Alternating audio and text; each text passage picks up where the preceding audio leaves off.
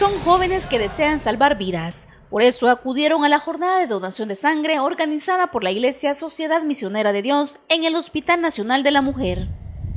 Muy feliz de, de ayudar a otros y también este, motivando ¿verdad? todo el pueblo salvadoreño a que se anime a ayudar al prójimo. Siente excelente ¿verdad? poder ayudar a los demás, aunque sea poco, pero estamos aquí presentes. Vuelve a abrir y sostiene, descansa. Esta iniciativa se realizó de forma simultánea en otros países. Nuestra iglesia a nivel mundial, solo en Centroamérica y Suramérica, este, hoy en día se están donando sangre más de 10 mil miembros.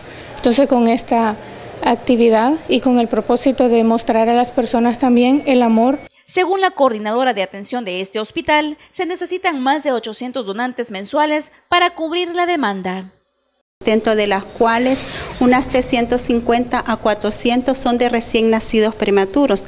Viene siendo equitativamente casi igual o más la transfusión de los prematuros que de las pacientes adultas. La donación de cada persona equivale a 480 mililitros de sangre, con la cual se puede salvar la vida de 5 niños prematuros o 4 adultos. Araceli Cenillo, Telenoticias 21.